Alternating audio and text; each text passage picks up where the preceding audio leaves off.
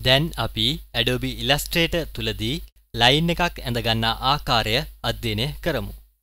මේ සඳහා tool box එකේ line segment tool කියන tool එක සිලෙක්ට් කර ගමු. දැන් ඔබට පුළුවන් මේ ආකාරයට click and drag කර අවශ්‍ය දිශාවකට අවශ්‍ය පරිදි line එකක් ඇඳගන්න. ඒ වගේම ඔබට හරි කෙලින් line එකක් ඇඳගන්නට පුළුවන් යතුරු පූරුවේ shift key එක තද කරගෙන මේ ආකාරයට click and drag කිරීම තුලින්.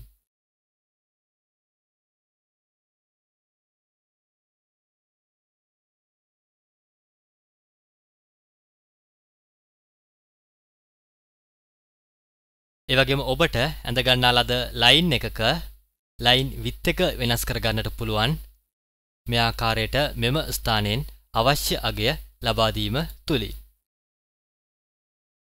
ඒ වගේම ඔබට මෙම ලයින් එකේ කලර් එක වෙනස් කර ගන්න පුළුවන් මෙම ස්ථානයෙන් මේ ආකාරයට කලර් එක සිලෙක්ට් කර ලබා දීම තුලින්.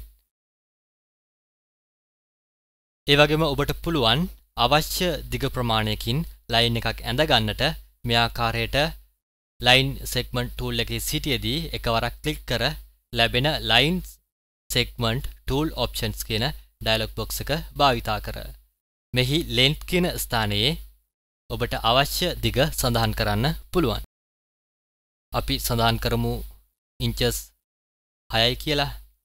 මීළඟට ඇන්ගල් කියන ස්ථානයෙන් ඔබට අවශ්‍ය ඇන්ගල් එක සඳහන් කරන්න පුළුවන්. අපි සඳහන් කරමු අංශක 45යි කියලා. දැන් OK බටන් එක ක්ලික් කර ඔබට අඟල් 6ක් දිග ඒ වගේම ඇන්ගල් එක අංශක 45ක් වන ලයින් එකක් ලබා ගන්න පුළුවන්. මේ ආකාරයට